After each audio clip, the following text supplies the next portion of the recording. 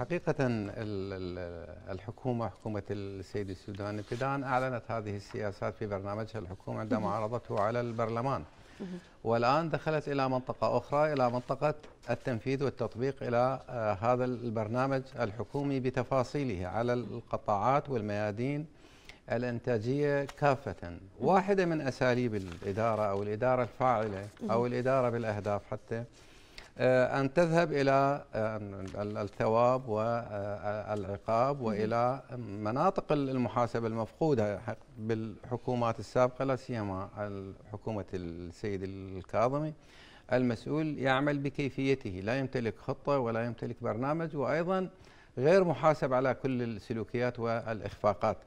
طيب يعني هل ممكن أنه تكون من سبب آه، إحدى أسباب هذه الإخفاقات بأنه لحد الآن لم تقر الموازنة؟ حاليا لدينا فائض مالي الآن الأموال الأمن الغذائي وحتى الآخر بالنسبة إلى فرق سعر مبيعات النفط العراقي. لدينا وفرة مالية تمكن الحكومة من بناء خطط خطط قصيرة الأمد. اذا الوفرة المالية متوفرة في الوزارات طبعًا. وفي نعم. طبعا وال يعني بالنسبة إلى الحكومة الحلقة المهمة في هذا البرنامج يعني أنا هكذا أرى شخصيا هذا صندوق التنمية المتعدد مرة صندوق التنمية الاجتماعية لمعالجة البطالة وفتح القطاع الخاص. على العام بشكل غير منظور ويشترك جميع العراقيين في ميزات موظف الخدمة العامة. هذه مهمة جدا يعني فيها تقريبا حل شبه جذري ومهم طيب. بالنسبة إلى شرائح المجتمع. نعم. طيب أستاذ حسين يعني آه، نحن شئنا وبين الحكومة تشكلت في ظل تحالف آه، كبير نعم. تحالف سياسي كبير. نعم. وهؤلاء المسؤولين هم ينتمون إلى تيارات وجهات سياسية يعني هذا واقع الحال. تمام. كيف يمكن أن نتلافى هذه الضغوط السياسية في حال كان هناك إخفاق من المسؤولين هذا واحد من تحديات الحكومة سواء قبل التصويت على الحكومة وبعد التصويت على الحكومة في الأداء وأنا شخصيا يعني أضع مفردة أمام السيد السوداني أنه مهما كان كفؤا السيد السوداني في أدائه نعم. كأداء وظيفي سواء رئيس وزراء أو تنفيذي في أي موقع لا يمكن أن يدير كل هذه الأمور بذاته أو يقدم الأفكار والحلول والمعالجات والمتابعة وال وال إلا أن يعتمد على, على أفراد أكيد. على أفراد نعم. سواء كانوا لجان أو أفراد بذاتهم نعم. يتمتعون بكفاءة وقدرة وأيضا الآن عندنا. عامل مهم نزاهة نعم. هذا العامل المهم أنا أعتقد المضي في موضوع النزاهة وملاحقة الفاسدين في هذه الفترة ومحاسبة نعم. الفاسدين هو واحد من أسباب ودافعية النجاح بالنسبة إلى نعم. الحكومة لأنها تمتلك برنامج وتمتلك خطط وتمتلك أرقام وتمتلك قدرات قدرات ذاتية بالنسبة إلى الدولة العراقية أو نحن طبعا لا تنسى أنه نتحدث عن تقييم الأداء وليس عن فاسدين. تمام. في هذه الفترة تحديدا. طبعا نعم. طبعا. تقييم الأداء واحدة من فقراته إذا اذا نرفع النزاهة بمعنى إنه في كثير يعني للأسف يعني نعم. توجد كفاءات ولكن آه، غير نزيه الجو العام طبعا. هو هذا الآن أيضا محك آخر واختبار آخر بالنسبة للسيد السوداني، السيد السوداني وضع على نفسه قيودا قال أنا مسؤول على كل الإخفاقات هذه الحكومة بضمنها أيضا النزاهه بان الموظف غير النزيه يتحمل مسؤولية السيد السوداني. وبالتالي هو لا يضع نفسه في هذا المكان إلا تكون عنده إجراءات لمحاسبة هؤلاء. ومنها تقييم الأداء الفصلي والنصف سنوي والسنوي.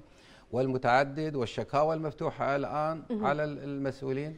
هذه مفردات حقيقة مفرحة بالنسبة نعم. للمواطن. طيب يعني أستاذ حسين آه، آه، نرى زيادة واضحة في آه، إنتاج النفط. بما أن هنالك زيادة هذه الزيادة في النفط يعني هل سيتحقق هنالك نقلة نوعية في الاقتصاد في سوق العمل؟ إذا ذهبنا على الحلول يعني إحنا واحدة من المشكلات وللأسف الشديد يعني نتمنى أن لا تدخل الحكومة في نفق المعالجات النقدية والمالية لحل مشكلة العاطلين عن العمل أو رفع مستوى الفقر. وأن تذهب إلى معالجات التنمية. وهم أعلنوا عن صندوق التنمية الاجتماعية وهذا مهم. ويمكن آه، شطرة وتعدد هذه الصناديق من هذه الوفرة. صندوق تنمية صناعية صندوق تنمية زراعية. بالإضافة إلى هذا الاجتماعي وهكذا هذه توفر هذه الأموال بدل أن توزع نقدا وتنتهي وتروح إلى الإنفاق التشغيلي أو الإنفاق الاستهلاكي تروح إلى مواطن وإلى مناطق الاستثمار. طيب الآن مجلس الوزراء آه، يعني بشخص رئيس الوزراء بعد أن ألزم نفسه بمدة زمنية لهؤلاء نعم. يعني ما هي أقصى مدة زمنية ممكن أن تطبق؟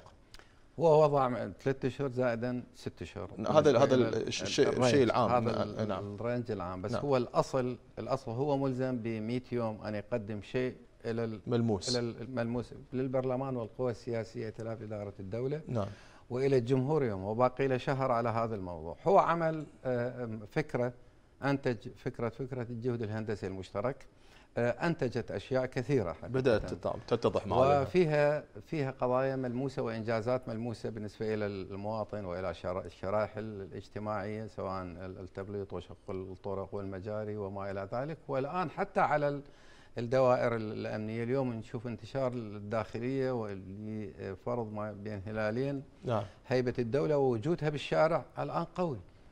وبدأنا نتحسس ونتلمس وجود نظام طيب يعني أستاذ حسين آه، تطبيق البرنامج الحكومي ستشرف عليه عدة لجان آه، من داخل الوزارات ومن ثم أيضا ستشرف عليها لجان من مجلس الوزراء. هذه اللجان من داخل الوزارات من سيحددها من سيقوم باختيارها. هذه اللجان داخل الوزارات تحددها الوزارة. الوزير الوكلاء المدراء العامون هم يحددون هذا باعتبار أن هذه اللجنة تنجز ما عليها من آه، البرنامج الحكومي وخطط الحكومة. الحكومة تتابع مع مع هذه اللجان مع خيارات هذه اللجان مع حرية عمل هذه اللجان في تكييف العمل لإنجاز هذه المهام. وبعكسه نذهب إلى هذا التقييم ونتائج التقييم وقرارات التقييم قرارات الحكومة ما بعد التقييم. هذا الجميع يخضع إلى هذا الموضوع.